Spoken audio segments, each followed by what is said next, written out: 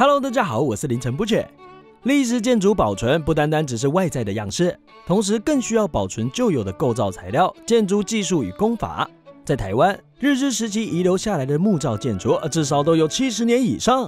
位于南港昆阳街的松山疗养所所长宿舍，则是有约百年的历史，但因为缺乏照顾而日渐残破。今天要介绍的木作工程，就是要修复经过长时间荒废的木造建筑。究竟师傅们要如何细心的恢复松山疗养所所长宿舍原有的样貌呢？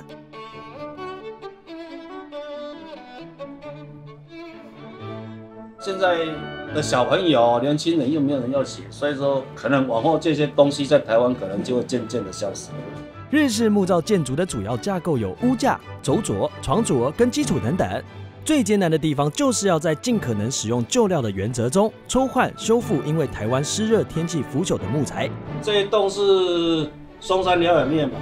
那我们这里的工程现在目前已经进行到修复门窗，也几乎都快完成了啦。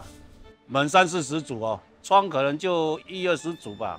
它最主要就是要让里面空气流通，因为日式的东西都是木材，里面潮湿的话木材很容易烂，所以它的门窗特别多。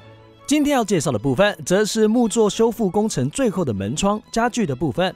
想不到这个地方也是师傅们要修理的范畴吧？这一栋比较特殊的，它的门不是做仙子，它都是做板门，整片门都是用木板，会比较密合啦。窗跟门的做的步骤都差不多。要做一个窗户哦，它一定要先量它的尺寸啊，长与宽先量出来，然后量好之后再放样。放样放好的时候，一定要先裁剪啦，然后抛光啦。抛光以后哦，才开始做它的榫接啊。然后榫接做好的时候就组合。到一个门窗完整的时候，要拿到现场合起来。如果不合的话，再整修一次才能算它完工。然后完工以后，它还要装它的五金、它的配件，还要油漆啊，还要装玻璃。所以说，一个门窗做起来，其实它的工作蛮多样的啦。啊，不再像它看起来就一个门窗而已，但是它的细节蛮多的，辛苦是辛苦了，但是我们学到这个，你不做这个也没办法。